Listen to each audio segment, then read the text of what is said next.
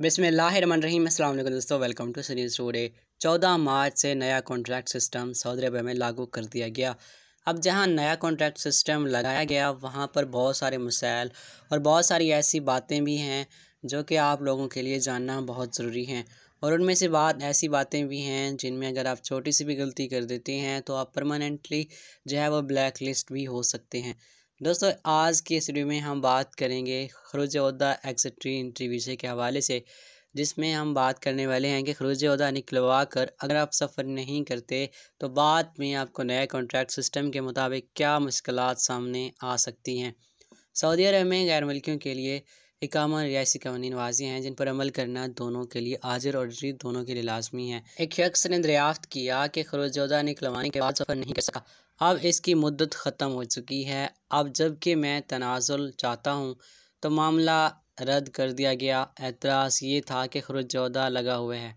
आज़ाद के ज़राए ने इस बारे में बताया कि खरोजौदा के ज़रा के बाद मुकर मुद्दत के दौरान सफ़र करना लाजमी है। बासूरत देगर एक हज़ार रियाल जुर्माना आयद किया जाता है। जुर्माने की अदायगी के बाद तनाजुल और दीगर मामला अंजाम दिए जा सकते हैं। बशर्ते के इकामा कारामद होना चाहिए। वाजह रहे कि महकमे पासपोर्ट के कवानीन के मुताबिक खरुजदा वीज़ा हासिल करने के बाद मुकर मुद्दत के दौरान सफ़र करना लाजमी है। जुर्माने से बचने के लिए सफ़र ना करने की सूरत में उसे कैंसिल कराना पड़ता है। जुर्माने की अदायगी के बाद सिस्टम में फ़ाइल ओपन होती है। ताम इसके लिए शर्त है कि इकामा कारामद हो। अगर इकामे की मदद ख़त्म हो चुकी होती है तो ऐसी सूरत में इकामे की तहदीद में तारीख पर पाँच सौ रियाल जुर्माना भी अदा करना पड़ जाता है।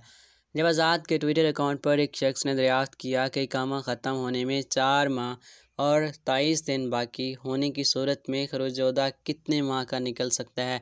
जब आज़ाद की जानब से बताया गया कि कामे की इंतहाई मुद्दत तक के लिए खरोजोदा वीज़ा हासिल करना मुमकिन है, ख्याल रहे कि खरोजोदा वीज़े के जरा के दो तरीके हैं।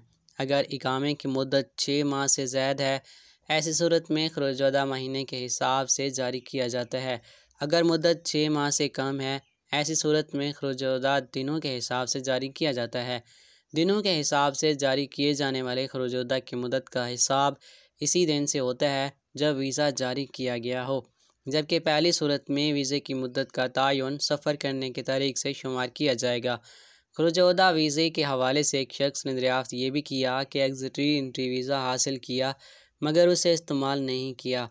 बल्कि वक्त मुकर्रा के अंदर सफ़र ना करने की सूरत में वीज़े को कैंसिल करा दिया गया।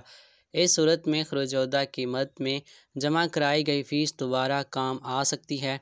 जवाजात का कहना था कि खरोजदा वीज़ा जारी कराने के बाद उसे इस्तेमाल ना करने पर फ़ीस वापस नहीं होती और ना ही इस फ़ीस को दूसरी बार इस्तेमाल करना मुमकिन होता है।